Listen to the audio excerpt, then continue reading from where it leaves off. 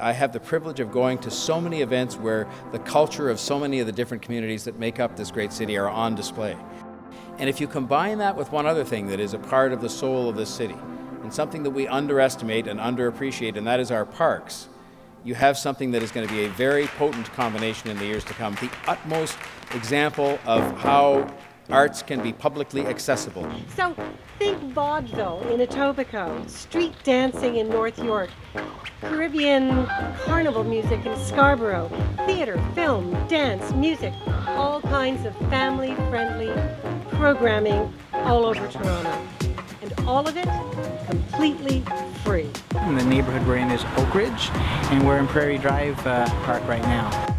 So we are in Rexdale, and the garden is Panorama Community Garden.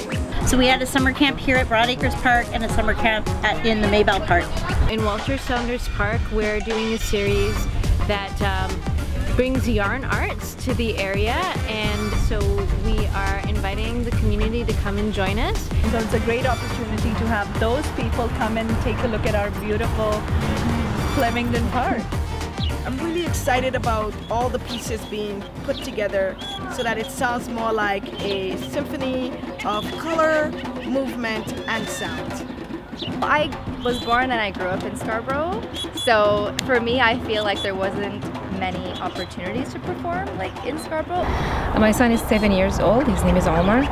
We are not uh, used to, uh, to go camps in open areas like this. And uh, for the first time for me to see such a small forest, now he tells everybody, Mama, I, uh, I went to the camp and I'm, I have a camp, I have friends. It, it brought people from across the city out to this small little park in Scarborough. I found out about Arts in the Park through Bell Canada. I'm a Bell Canada ambassador. I think this is an awesome program. It get families, get communities together. A lot of activities for different kids to do with their families and it's a different way for them to get different exposure. So I think it's an awesome program. And uh, I heard about the Arts in the Park event through my parents one day they told me that, hey, you should go outside and meet other new people. There's an interesting event here. It's called Art in the Park. I just been to Toronto a year ago. I don't know much of it, but because of this, I will explore the city better.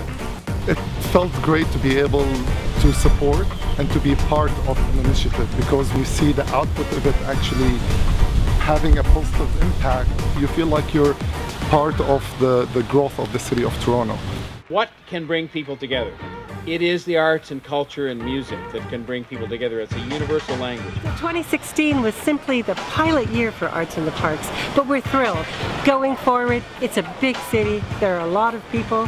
They want arts in their parks, so we will be doing more with your help.